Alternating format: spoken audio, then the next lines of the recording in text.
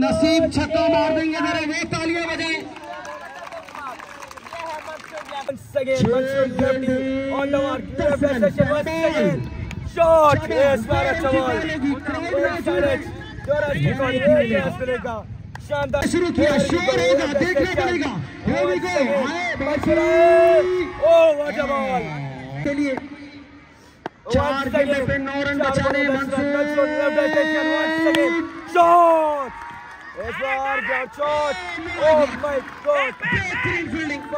बेहतरीन fielding Doras. दो run लेने में कामयाब शाबाश शाबाश किस तरफ़ दो दो जाएगा ये मैच पैनल होगा मंसूर here दौड़ना we शुरू go किया। मंसूर अच्छा बॉल के बॉल है विकेट पे एक रन। फील्डिंग मैच बचाते हैं पंद्रह सौ रुपए मंसूर के लिए और नसीब छक्का मारते तो पंद्रह सौ नसीब के लिए दो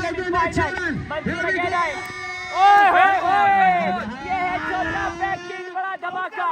ये है ब्लेंड ऑफ़ मेट्रोवेल ये है मेट्रोवेल का शहजादा।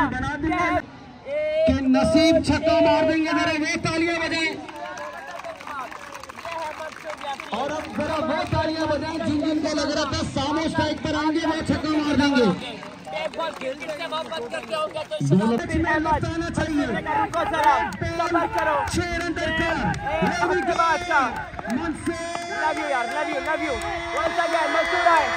White ball white ball white ball white ball match खत्म नहीं हुआ। मैच खत्म नहीं हुआ।